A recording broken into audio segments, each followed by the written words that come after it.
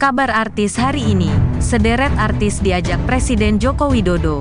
Jokowi menjajal kereta cepat Jakarta-Bandung.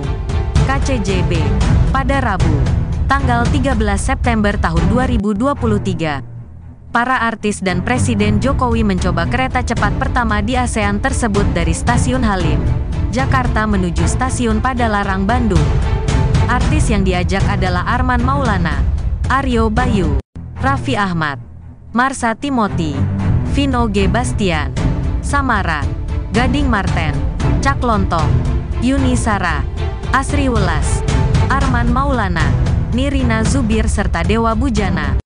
Beberapa di antara artis berkesempatan duduk satu gerbong dengan Presiden Jokowi. Mereka di antaranya Raffi Ahmad, Gesding Marten, Arman Maulana dan Dewa Bujana. Bagaimana kesan para selebriti setelah menjajal kereta cepat Jakarta-Bandung? Berikut ulasan tribunnews.com selebrasi saat kecepatan kereta 350 km per jam.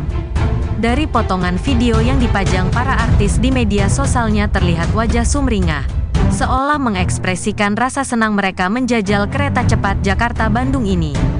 Para artis ini bersama Jokowi merasakan perjalanan singkat kurang lebih 30 menit perjalanan dari Stasiun Halim menuju Stasiun Padalarang.